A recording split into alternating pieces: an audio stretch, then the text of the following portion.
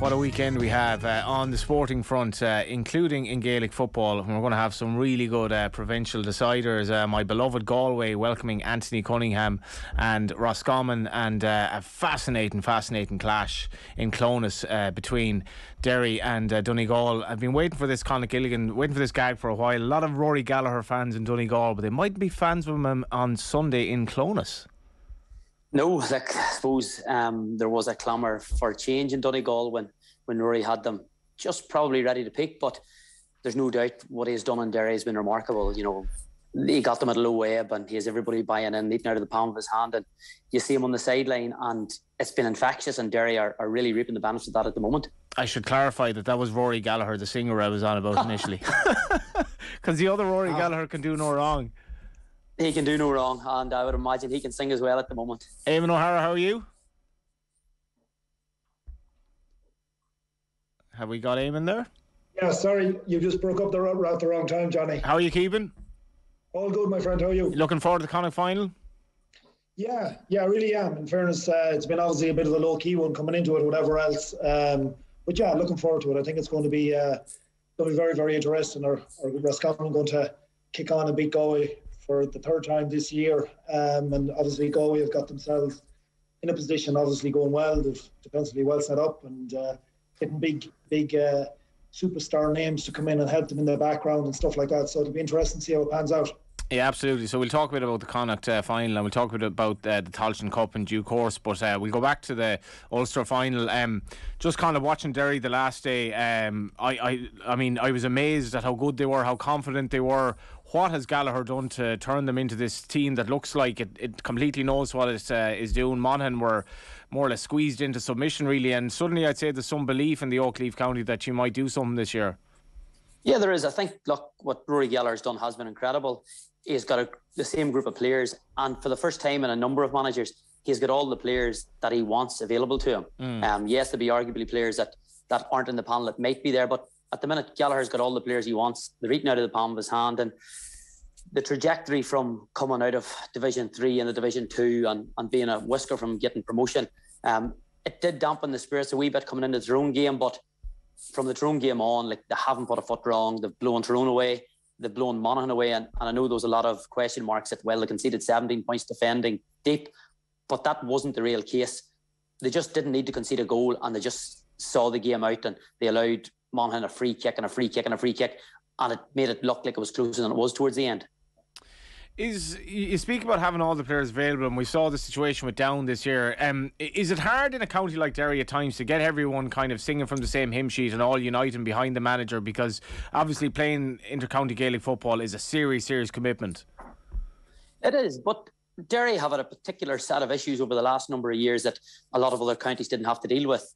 You know, they had a Slaughtneil contingent that were fighting for All Ireland club and All Ireland hurling finals in consecutive years. And it's no coincidence that, backbone by Brendan Rogers, Chrissy McKaigue, Shane McGuigan, when those players weren't available to Derry in Division Two for them number of years, they dropped to Division Three. They weren't available the next league campaign. They dropped to Division Four. So the previous Derry managers have been unlucky. Uh, Rory has probably been been on the luckier side that they have been available and they've been bought into it. So um, he has all the players he wants.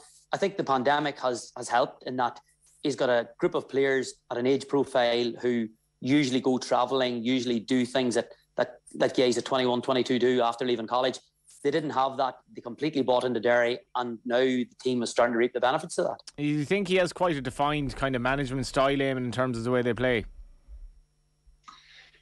Uh, it's just interesting listening to Con, Conleith there, like, you know what I mean? You, you, I just think it's all to do with consistency and, and self belief. And obviously, getting promotion back to back to back is is always builds um, a self belief and a belief. And, and, and when players, when you've got a manager telling you this is going to happen and it starts happening, I think start they start really, really trusting in that type of situation. And I think, I think last year for me, was the Donegal game where he brought them very, very close and obviously nearly beaten Donegal in the end uh, they they got huge confidence as a result of that. Now, obviously, they had a bit of a blip against Galway in the league this year, but I think they were always very, very close. So I think it was all really coming together quite well. And I, you know, if you weren't involved in football, you would have probably known that Derry were going to take a scalp this year. There's no doubt about it. And obviously, with Tyrone coming up first, I just believe that they got Tyrone. I was just looking at some of the stats, like you know, in the first half against against Tyrone, they had 16 attacks and had 15 shots.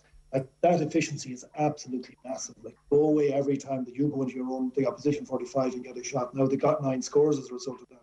But it's that that's the kind of their game plan. Let's get into the scoring areas and let's go away with an end product. Be it a wide or be it a score, but they were able to set up and we're safe as when we're facing the next kick out. And I think that type of consistency, and that's Rory is all about getting the ball, be efficient, get on the score sheet, step back and take control of the game again obviously his game plan is get ahead early doors, and I think that's what he's what has impressed me most. And we myself and Colin were just chatting off here.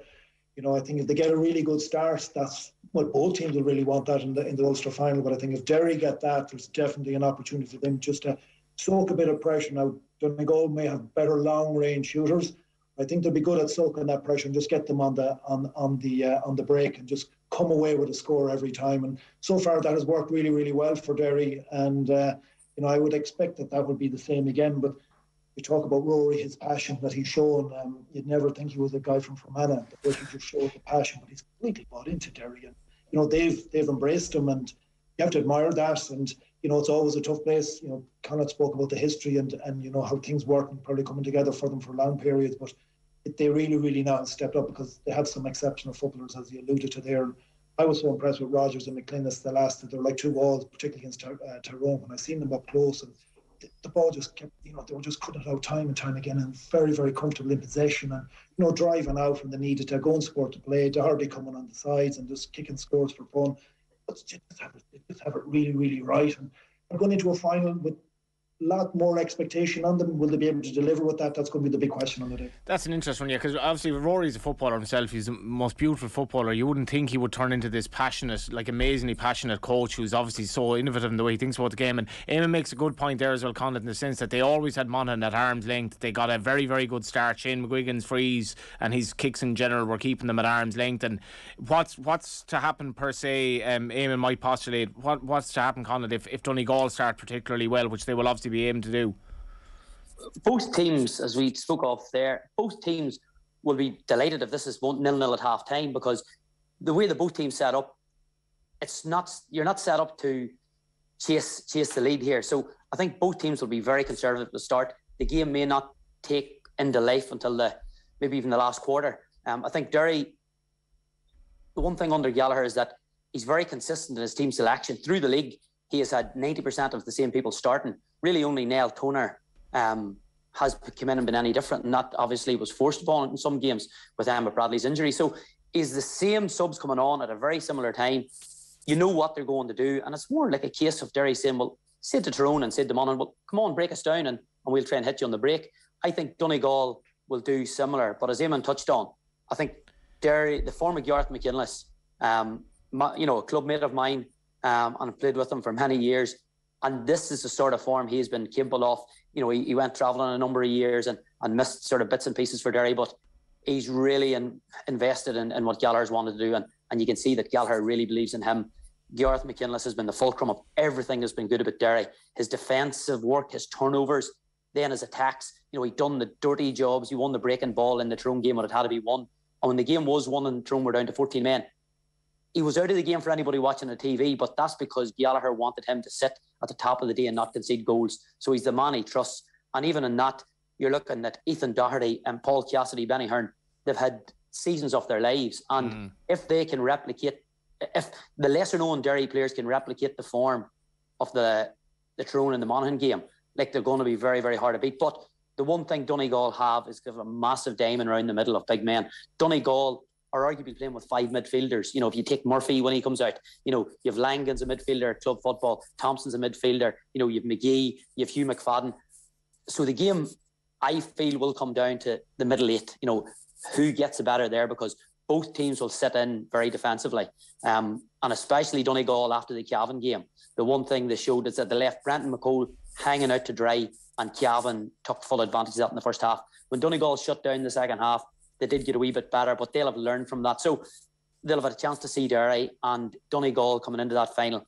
They weren't particularly convincing again, again Cavan, but they'd done enough. You know, you look at Patrick McBrearty, didn't have a great game, and yet he comes off a 1 4. You know, Michael Murphy does what Michael Murphy does. He, he dictates the terms of the play. You you know, he comes in and out of it. And a lot will come down to those big battles and, and who gets the better of them in the matchup. So, um, one thing Gallagher has showed is that he does tend to get his matchups right. If you look at the Monaghan game, he was bang on, where Banty probably just didn't get it right on the day for one reason or another.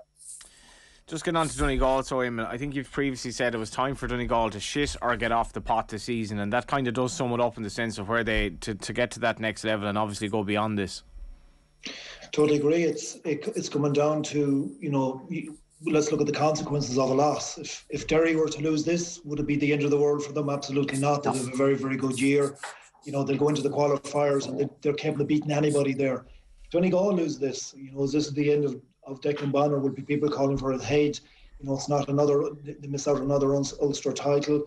You know, the potential that the players that they've got there, the performance the level they'll go into the qualifiers probably low in confidence and then somebody could pick them off. You know, it, there's lots of what ifs and maybes, but I think there's an expectation now that Donegal has got another Ulster final. They have to really, really perform and, and, and, and get another result out of it. I think they've got, I think it's t- 10 out of the last 12 or 13 uh, Ulster finals now. So they have huge experience on this occasion where Donegal is coming in with, or Derry's coming in with very, very little of that. And I think that'll be it's all about the big occasion. Now the Ulster final is a life does take a life of its own. It's it's an occasion. You know, this will be the big challenge for for Gallagher. You know, he's very emotional on the sidelines. Will there be a bit of spice along the sidelines? Absolutely. I think there'll be, you know, they they Derry will thrive on um, the turnovers. Like that's what they take life. It's about the fist bumps and stuff like that. That's where they really, really sort of, you know, lift themselves and, and, and drive on that. So you know, going back to the question of Donegal, I think obviously, you know, it's that big middle diamond area where it's going to come down to um, whether teams will decide that, you know, we'll cough up the kick out or we put it down. Now, Patton's quite good. He can go short, he can go long, he can go extremely long if necessary. You know, on the flip side of that, with Lynch, you know, he's he's also quite good on that. But it's will Donegal be happier allowing up that kick out? If they need to do that, they can adapt and change and force that long kick out and make it into a bigger contest around the middle. Then it goes back to the matchups, like who's going to pick up McBrearty? It's probably going to be McKaigue. You're looking at Murphy. You know, will Rogers go with him everywhere he goes? But Rogers is also that holding that that that holding role in, in that full back as well. See, if they pull him out, then that means a little more space for McBrearty inside and whoever's probably in there with them, be it, you know, it might be um, it might be Conor O'Donnell or somebody like that that might be, you know, just you know coming on the loop all the time. So it'll be just interesting. The tactical, the tactic the tactics will be very, very much key, and the matchups will be very, very will be very much key. But you know, you could have a guy that we haven't mentioned here that could be the man of the match. You know, that's that's the one thing about it. down to those fine, fine margins. Yeah, Gaelic football and off the ball is in partnership with the AIB, proud sponsors of the GAA Senior Football Championship. Check out hashtag toughest for more. And just on the game itself, Eamonn, like, is it going to be as cagey as people might suggest? Certainly in the first half, or it'll be kind of like just kind of scrapping on in there and don't get into a position where you're chasing the game from both sides? You know, there's a there's a saying in football like you, you, you won't win the game in the first half, but you can certainly you can mm. certainly lose it. And I think that's what Der- Derry have done. They've won a lot of their games in the first half. They've got a really good lead and control the game from then on. And I think it'll be very very cagey. I think both will be.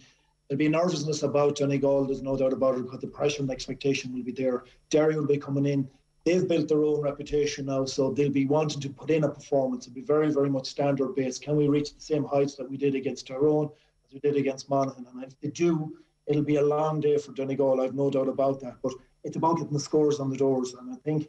You know, you look at you look at Derry. If they're efficient, if they're going away with scores constantly, and you know sitting back, they may frustrate. They may frustrate um, uh, Donegal more than what Donegal will do to them if, if, if, that's the right way of putting it. Um, but for me, it, the key man would be Murphy on Sunday. You know, he was he's key to everything what Donegal what Donegal will do, and are they able to shut him down? Will somebody else come in? Will Langan come in? Will McGee come in and do a really really good job and contribute on the scoreboard? Like McBrearty will need really step up. Ryan McHugh will have to you know drive forward as per usual and get a couple of scores. So there's a lot more what ifs and maybes but I think for me, it'll be in that, that diamond area that's going to be the, the, the key. But terms of caginess, there's no doubt about it. It could be a tour affair, and we're really looking forward to it. It could be those type of ones where just be sitting back on the couch and sort of folding around, you know, somebody really, really go for it at some point. So I think a goal early would be great. I think it'll give life to the game. It'll get the crowd behind us, and it'll draw one team out, and there'll be no doubt about it. It'll be very, very much in have to chase it down. Both yeah, and it's it's mad to think that Derry haven't won the Ulster Championships in '98. I remember I was at the Galway game that year, and to think that uh, our whole lives ahead of us haven't won a championship since. There must be some buzz in the county. I think you could kind of feel that from the TV against Monaghan that there was a hell of a Derry crowd in the ground as well.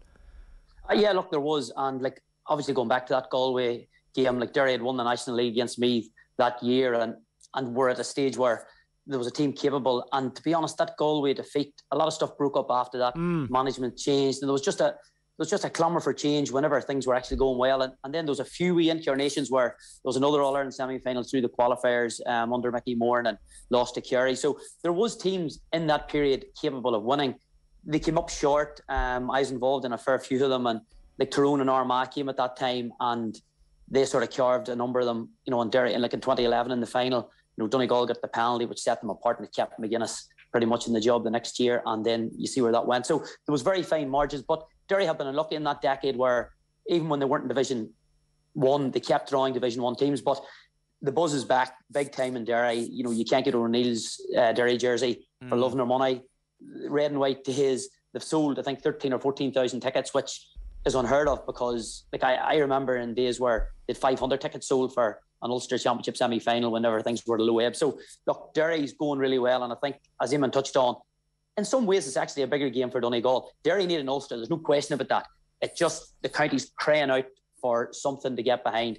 But for Rory Gallagher, a defeat isn't the end of the world. He's took them in a, to a good place, and the way the qualifier draws worked, he could be sneaking into a quarter final there again, even in the worst case scenario. But that's in nobody's mind in Derry. We are just buoyed by the hope and the possibility and the, the, the what ifs that we make we make the Ulster Championship on Sunday. And you know what? It's been a long time from we've been in a final where it's been a, a realistic possibility. But you know, Derry are in a good place. And again, it comes back to do they get the matchups right? If they can keep Michael Murphy quiet, you know, I've no doubt McKaigue will do a job on, on McBrearty.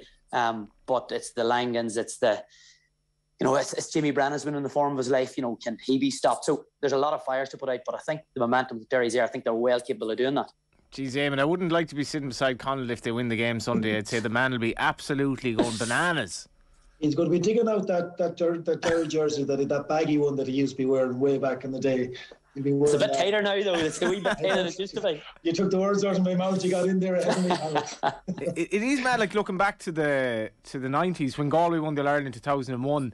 The paper the next day was saying Galway are going to dominate Gaelic football now for a good while. I don't think they won a game in Croke Park for 16 years. So in, in that context, Eamonn, um, this is a kind of a, I suppose, a renaissance. We're going back to the Pádraig Joyce era of 2001 as well when he scored the 10 points against me that day. But he's now the, the leader of this Galway team coming in against Roscommon, who obviously are managed by Anthony Cunningham, has a lot of grievances about the way he was thrown out of the hurlers back in the day as well. Started off managing Roscommon hurlers, he's now managing the inter-county team, hoping to win another county championship with them, hoping to beat Galway for the third time this year. Although I do kind of wonder the shadow boxing might be over now in that regard when they meet in Pearse Stadium.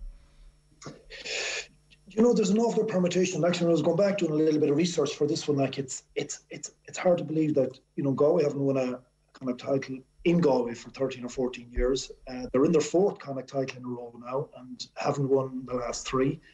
Um, had a very good start. I suppose he had a very good four or five months at the start of his campaign, and then obviously uh, COVID came in and it kind of broke up the momentum. And then last year wasn't, you know, they never got to the level at all. And then this year they started exceptionally good again. They came with a real freshness. Um, they've got there are a lot of their injuries sorted out.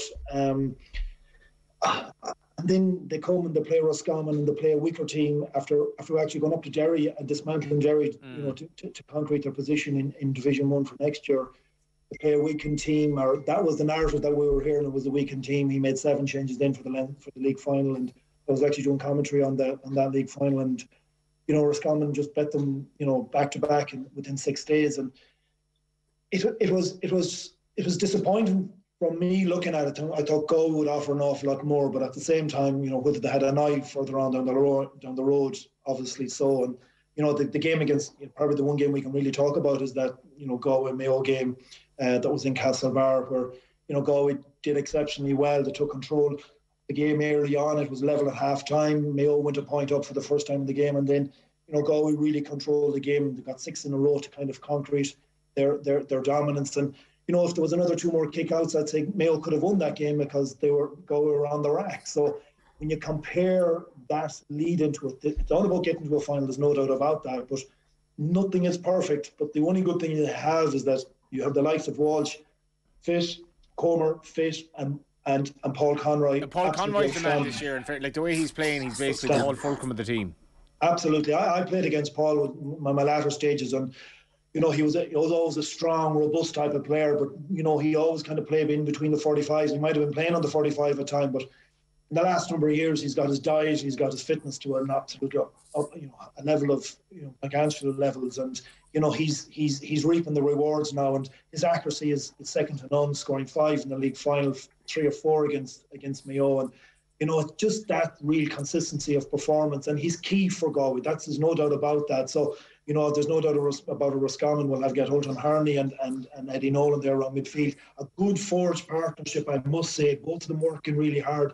Both of them can take, you know, key men out of games or dominate them at times. So there's no doubt about that, that, you know, he'll be up against it again the next day. Um, but I just think for Galway, they've, you know, Kevin Walsh got a little bit of criticism about the way he played.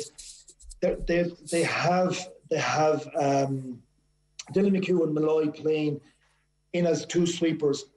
When you have to play Sean Kelly at fullback, I think Sean Kelly's an outstanding footballer. Mm. Playing him at fullback, mm. to me, it's like plugging a bit of a hole. Mm. And I, that's where I would worry. And then you compare what Roscommon have in terms of their forward line, Smith, two Smiths, Martha Cox. They've also, uh, uh, uh according to us, that um, one uh, Murtagh won't be starting, but he'll be coming in like he did in Leinster in the in the, in the league final. He'll be making huge impact that's where I would just worry a little bit for Galway. You know what I mean? Will they be exposed in that forward line? That's that'd be that or in that defensive line. I think that's where the big question for Galway. Obviously up front, very very good. So, but it'll come down on, an awful lot. Will come down on the day and where where will the dominance, where the, the dominant areas will be. You know, the styles of play are a little bit differently. Obviously, Galway will have you know Conor Gleeson uh, back in goal again. I think. Um, Conor Flaherty was there, and I think he's still injured, so they're still going to go along with the kick out from that situation. So you know, there's a lots of what ifs and maybes. It's going to be very, very tight, and I think this will be the one game out of all the finals probably come down to could go to extra time. Yeah, and Connacht, what's common, just do not fear Galway. Uh, Andy Cunningham will know them inside out, and it, it, just feels like a game that is very, very hard to call. What do you make of it? Yeah, very much so. And I think uh, I think Eamonn was right. You know, the the, the Derry game and, and the Galway game, Galway Derry won the breeze, and it was a enormous breeze. You couldn't, you had to be there to believe it. Derry won the toss and opted to play against it, and Galway just went to town, and the game was over at half time. Had Derry have taken the breeze, arguably Derry could have won that game. That's how significant it was, but they didn't. Then obviously Galway didn't need to do much against Roscommon after that, and that was it over. They gave Roscommon the win there. Then Roscommon believed that they could beat them in the league final and did. So if it were me, I'd have been looking to keep my foot on Roscommon's throat right through that. They have given them the oxygen to be in this, and this could come back to bite them. Like in terms of Roscommon's forward line, like there's no doubt. Look, you know the Conor Coxes, you know, then the Smiths, you know, they had 18 scores from play in their last game, mm. and sorry, the 18 points from play and 11 different scores. So they have the stuff to bother a Galway defence that has been flaky, has been very, very temperamental. They definitely Galway made huge strides towards putting in a defensive system that could frustrate Mayo for long periods. But whenever the heat came on and Mayo came on strong, the defensive structure just didn't really allow for for anything that like was going to repel them in the way that that maybe Derry's did um, at times against Monaghan. So I think the matchups will be spot will be spot on here, but it'll be more a case of well, do they go with two sweepers you know, and if that's the case, it means they don't trust their players one on one, and it may be enough to win a Connacht championship, but that's not going to help them when it gets to Croke Park, and because what they'll need is their forward line clicking. You know, the Shane Walshes, you know, the Comers, and uh, you know the Paul Conroy. The, if he can have a, a decent game or two now, he's nailed on for an All Star. That is how important he has been this year. But I think it comes back to which forward line gets the most scores. I think Roscommon probably have more scores in them if the game is a nice, loose, open game of football. But I don't think Galway can allow it. It'll be completely against Joyce's DNA for how he started this job. But I think he is probably growing into the realization that if he wants to win something bigger than a Connacht title. He'll not do that conceding 18, 19, 21 points when it comes to Croke Park. He has to shut down the hatches. He has to show that there's a way to beat Roscommon and he has to do it with a real defensive game. I don't think he can go toe to toe with Roscommon well, in this one. On that aim, I, I think Connacht's getting to a very the crux of Galway football here for maybe the last ten years. Like uh, for me, Galway football has massively struggled to adapt to what became a defensive game. They were kind of halfway between both. They didn't really know what they were doing. Maybe you know, maybe Kevin Walsh didn't fully trust uh, the defenders to actually play an expansive game. What do you see in Pádraig Joyce? Has he evolved as a manager since he took over? Because obviously, what a footballer he was, but at the same time, you have to box clever as well. Yeah, and I think, you know, you, we've often heard that you know a manager his hand, his fingerprints, his handprints are all over it, and if it's if it's hard work and determination and you know real positive attitude and you know Pádraig is one of the best forwards uh, I've ever played against and played with and seen you know in, in, in the history of, of Gaelic football. But then you compare Rory Gallagher, both of them were flair footballers, but both of them are obviously smart enough to know and, and understand football enough that you know we have to score enough, but we also have to defend really, really well. And I think Pádraig went out with the attitude that they were going to play traditional Galway football at the start and realised this is not going to work now. You know, teams are too smart. They're all about retaining possession and punishing, punishing if you do not get in product on the other end. So obviously he adapted. You know, he has dropped the two guys in there. Interestingly enough, he's brought in, um, I believe he brought in Ron O'Gara, Ron Dunn, you know, these guys to talk to the players about, mm. you know, mm. the motivational side of it and, you know, creating intensity. And, you know, that that works. So obviously he's believing that his style of football is good. He's obviously trying to bring in the right positive attitude and the, the winning mentality that he's trying to get into this group of players. Because as you said, haven't won a whole lot. Obviously, Corofin has been extremely uh, um, successful at club level, but in, within in the Galway setup, it hasn't really happened for them. So Pádraig is open, and I think that's the one good thing about it. He's willing to change. He was willing to change his, his background team, bringing in Cian O'Neill. So that adaptability is, is very, very much a, an important thing for him. Going back to what Conleith said there, Mayo had 40 attacks against against mm, Galway, mm. and they, they weren't efficient enough. For Scotland to get 40 attacks, they'll put 20 plus yeah. points on, on, on Galway. Yeah, absolutely. Yeah. That's, absolutely. That's, that's the black and white of it. Um, and that's where the dominance in that middle, I know we talk about the diamond quite a lot, but that's going to be so, so important.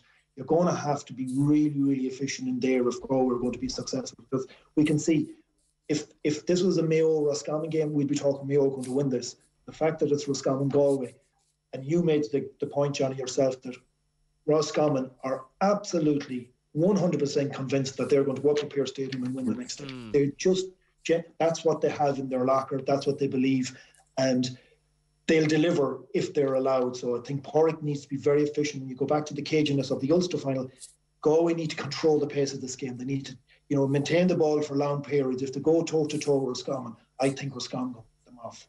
Yeah, and even going back just on that to to the to the game where, you know, the last number of games, the Galway kick out has been put under pressure, mm. and it, you know, it's changed completely. So whenever the heats come on, that kick out right across the D it hasn't worked and they've been putting themselves under serious pressure. And the default position then is go long around the middle. So I would expect Roscommon to try and really test that because if they can get into the kick out, it gives them a serious platform because if they have the ball in that quarter, you know, they will do the damage.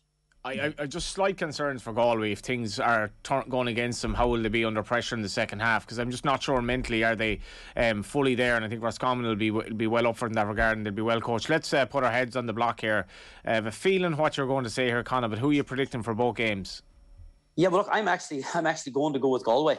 Um, and as far as they really need to win this, um, they've got out of Mayo's shadow for a wee bit here and they can put themselves in a really good position. This is do or die for Galway. Um, they're never going to be any better prepared. They have thrown the kitchen sink at it from the backroom team, from Cian O'Neill, from all the stuff they have brought in. And they haven't done this just to win a Connacht title. It has to be more. They're not there yet, but this will be a stepping stone. For, me, I think Galway will make it a lot uglier than Pádraig Joyce would want and that the supporters would probably like and accept, but they'll take a Connacht title at this point. In Ulster, I think it will be a very edgy game. I think for people that are looking a high scoring kicking game, they're not going to get it. I think ball retention will be the key. I think kickouts will be really strategic. It'll be massive. You know, you could have teams pushing up heavy at times and then conceding kickouts at other times. Yeah. Look, I think momentum's with Derry. Um, I'm going. To, my heart's going with Derry. I really hope Derry win it. Um, my mother's from Donegal. I really glad when Donegal get. I'm really glad when Donegal win any other time, but at this stage, Derry really need this because the minors are in the final before it. The under 20s were All Ireland champions last year. There's a crest of a wave. There's something good happening in Derry football. But for players to commit their future to a county setup in the modern era where it's five, six times a week, you need something to hang your hat on. Jim McGuinness got it with Donegal in 11, 12. I think if Rory Gallagher can get an Ulster Championship here, he has got them now for another three, four years, and the skies would be the limit for them. So I'm going to go with Derry. But it could take extra time and God forbid penalties. Oh, well, not. you said your heart's with I'd, I'd worry for your heart now if it went extra time. Then, yeah. Eamonn, what about yourself? I, I, for the for, for me in Connacht, I, am going to go too with, with Galway. I just don't see Galway being beat three times, and they're too, they're too passionate and too proud. But then the laws of probability is also, you know yeah. what I mean. It's not. Ta- I'm not looking at that tactically. I'm just saying in terms of how it would work. We know Pearse Stadium there'll be a gale force breeze, even though probably will be dry. It'll still be a strong breeze there. It's going to have a huge effect on the game, unfortunately. So who's going to be able to adapt the best? But I think there is something in Galway. I think if they if they are going to be serious, it's the fourth final in a row, so they need to win one there now. This is going to be huge for them. But that brings its own pressures. But again, it goes back to performance standards, and I know that they're trying to sort of get that winning mentality. So I, just think it'll be it'll be a Galway very very much in a very, very tight game with just about. In Ulster, I'm going to go Donegal. I just think that experience. I think I think Derry are very close, and you know, if we, truth be told, Derry could dominate football next year from then on. I just think this one they might just fall short because there's all of a sudden there's a wave of expectation behind them, and when it came down to it in the league, in the league final for them to get promotion, you know, you go back to that that that error of going with the wind or going against the breeze. Just a poor decision, and I think there's expectation there. I just think it'll be a tough one to deliver. It'll be it will be huge for Derry to win to beat to beat Tyrone Monaghan and, and Donegal. It'll be an unbelievable year for them. I don't know that they are yet. They're very close, but I don't think they're there yet. So for me, it's going to be Donegal. Just very briefly, in, in terms of uh, the Tailteann Cup, um, Sligo obviously facing London on Saturday. Um, obviously started off to little fanfare uh, last weekend or whatever. But um, what do you make of it? And if you were playing, would you? How would your motivation be for it if you were in the Sligo panel on sun, on Saturday? I, you know, Sligo, it it hasn't really happened as well as we thought it would for Tony and the and, and the response he's got with the Sligo setup. It's it's obviously always going to be difficult when you've got Roscommon Galway and Mayo dominant in the area. You know, it's not from lack of effort, and the players are, are putting a huge shift in, but it hasn't really happened for them at at any stage. Obviously, with the Tailteann Cup here now, London are coming in. I think, I think London obviously, you know, listen to their, you know, to, preparations before the before uh, in the league and coming into championship. You know, they've gone quite well in the league, and I think they'll have looked at this now and said, if we can win one game in the Tailteann Cup, it'll be a huge bonus to them. So they're coming over here nothing to lose, absolutely nothing to lose. I know Sligo have a number of injuries and at this present moment in time, and things not going well. They had a couple of challenge games, just just struggling to really have a, a united front. And I hmm. think London could really test them. And and people might be surprised at that, but you know, Sligo, I would I would expect if there's if there's any heart and belief and desire in this group, they have to perform now and get a result here. And and, and grind out results in this Tailteann Cup. There's there's no reason why Sligo cannot go and grind the results right to the final here. There's no doubt about it. But they have to deliver, not rely on one or two guys. It's a consistent group, uh, a group effort. So for me, I think Sligo will just shade it on this one. But they're, they're, they're, you know, the Tailteann Cup as a whole, I'm just I'm underwhelmed by it. I won't lie to you. I just think there has been very, very little talk. Um, you know, you know, there's there's there's four provincial finals here. This weekend, and I hear more about the about uh, the Heineken Cup final rather than our our uh, my sport, which is GAA. So, you know, I think the media and, and not so much, and it's not the media. So I think the GAA as a whole really haven't, you know, promoted GAA as much as it should. And you know, we're in half a year. I know there's an awful lot of talk about it at this present moment. You know, we, we're a split season. Now and we're still in May and we're in the provincial finals. I know we're probably maybe two, three weeks ahead, but it seems to be very, very flat. The, the, whole buzz about it just doesn't seem to be there whatsoever. And uh, you know, obviously, apart from the likes of Limerick, who are going playing Kerry and Derry, there's huge excitement there. But everywhere else just seems to be a little bit flat at the present moment in time. So I think overall, football is is at a low ebb. So the Tailteann Cup is just we're fulfilling fixtures at this moment in time, Johnny. Thanks for your time, lads.